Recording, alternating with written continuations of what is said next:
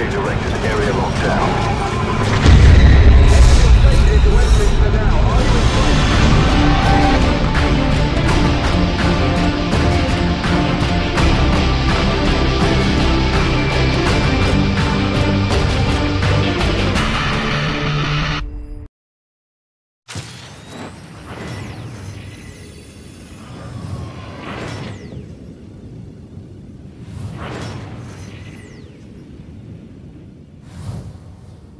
All warfare is based on deception.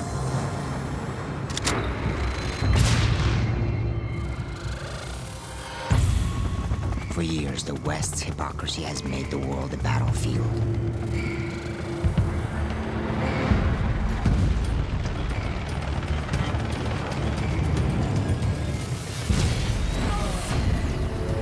The corrupt talk, while our brothers and sons spill their own blood.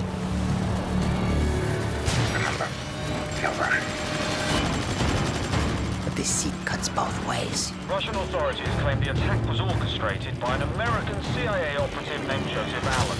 The bigger the lie, the more likely people will believe it.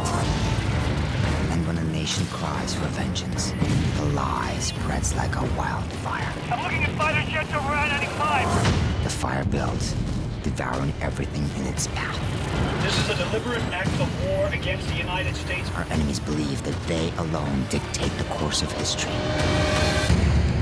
That all it takes is the will of a single man. Hey guys, this is the Blacklink from End of the Week podcast. We are here with Modern Warfare 3, Infinity Ward's latest offering in the Modern Warfare first-person shooter series.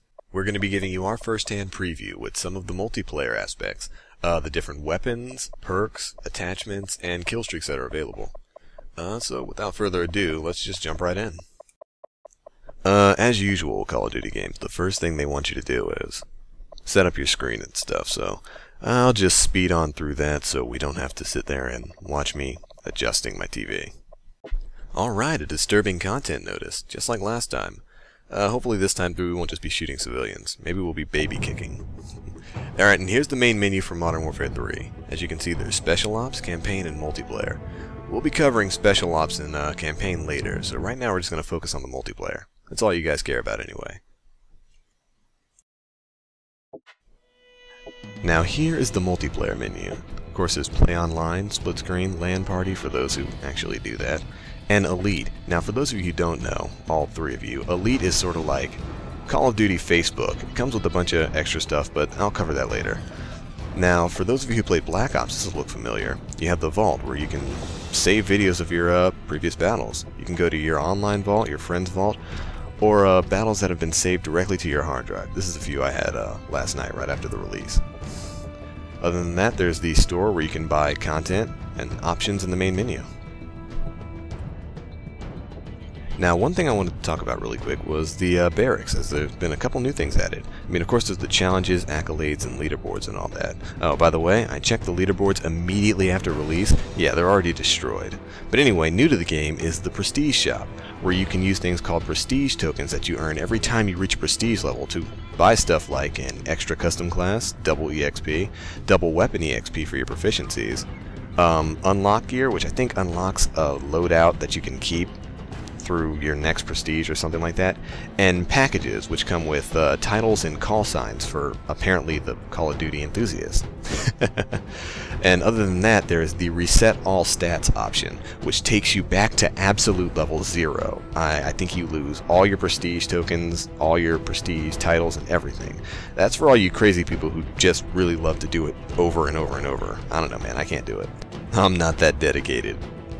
Now as for the actual match finding portion, there are actually two separate playlists. The standard playlist, which is full of team deathmatch, free for all, all the normal stuff, and advanced playlist, which is full of game types that are unlocked as you level up, such as team tactical, mosh pit, hardcore team deathmatch, hardcore kill confirmed, domination, team tactical, you know, all the normal stuff. There are a few new game modes. Uh, one of my favorites being Kill Confirmed, which is essentially team deathmatch, where you have to collect an enemy's dog tag after you take them out.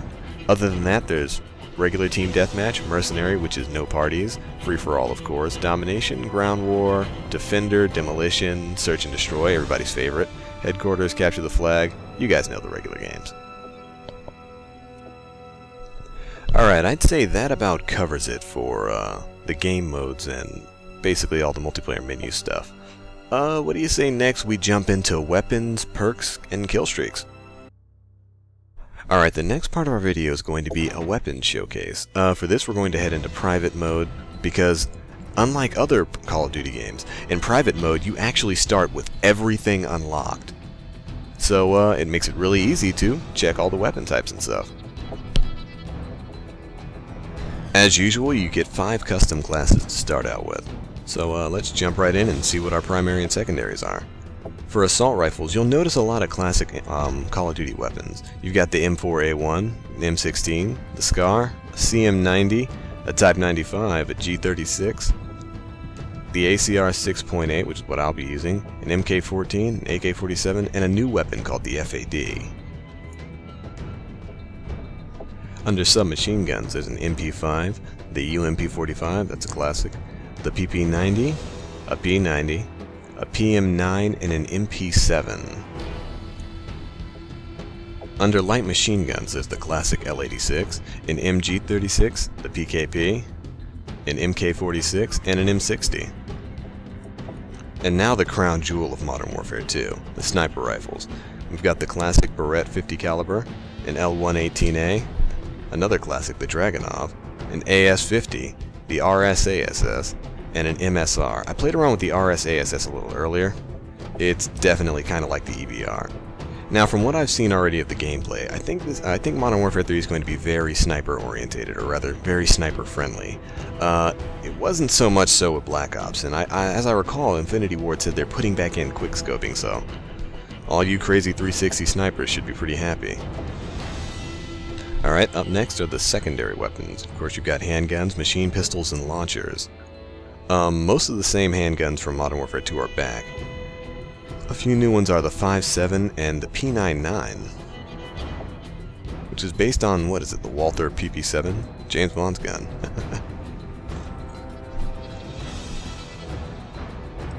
A good deal of the launchers are also the same. Uh, you've got your basic Free Fire lock-on SMAW, the Javelin, the Stinger, a uh, new thing is the XM25, which is a high-powered grenade launcher. I played around with that earlier. It's actually pretty cool. You can mark distances and somewhat lock onto targets. Now, one of the biggest changes for Modern Warfare 3 was the fact that you can equip essentially three upgrades per weapon, the first of which being proficiencies, which I'll go over right now.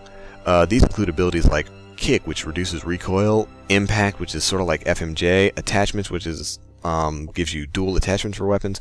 Focus, breath, which allows you to hold your breath when you're aiming down the sights, and stability, which uh, reduces sway time. Now, the really cool thing about these is a lot of them used to be perks, so now that you can attach them directly to weapons, you don't have to waste a perk slot on them. As for attachments, there's the basic, you know, sights, holographics, um, holographic and red dot, ACOG, heartbeat sensors, silencers, grenade launchers, master keys, all that stuff. One of the really cool things actually is when you choose a separate sight for your weapon, you can actually choose what type of reticle you want. I mean, I went through it really quickly, but you can see that I chose Omega over in the corner next to the 2, which stands for attachments. There's also a ton of new tactical and lethal equipment that I don't have the time to cover right now, but I know two that you're going to love. The trophy system, which destroys enemy projectiles, and the bouncing Betty. uh, just take my word for it, it's awesome. Another thing that's changed is a lot of the perks. Um, many of them do the same abilities, but their pro versions are different. Like Sleight of Hand is still faster reloading, but its pro version, instead of being able to aim down the sights faster, you are now able to swap your weapons faster. Other than that, there's Blind Eye, Extreme Conditioning, which is like Marathon, except you can no longer infinitely run. It just allows you to sprint for a longer distance, and then the Pro version allows you to climb for a longer distance. I guess that was an attempt to uh, counteract all the Commando Pro tac knifers, which you actually don't have to worry about in this game. Commando Pro is gone. Oh, let the people rejoice. Two of the perks that were removed from the game were Commando Pro and One Man Army, both of which were said to give an unfair advantage to certain players, and I'm, I'm sure everybody here who's played Modern Warfare 2 has gone up against a lightweight marathon Commando Pro tac knifer, and uh, everyone else has gone maybe gone up against a one-man army grenade launch swapper guy. Um, they were two of the combinations that fans really, really disliked, and so Infinity Ward listened, and they are now gone. Alright, now the last thing I'm going to cover in this video is going to be killstreak rewards. Now, for those of you who are more familiar with Modern Warfare, there's going to be a lot of uh, the killstreaks from that game in this, so you should feel right at home.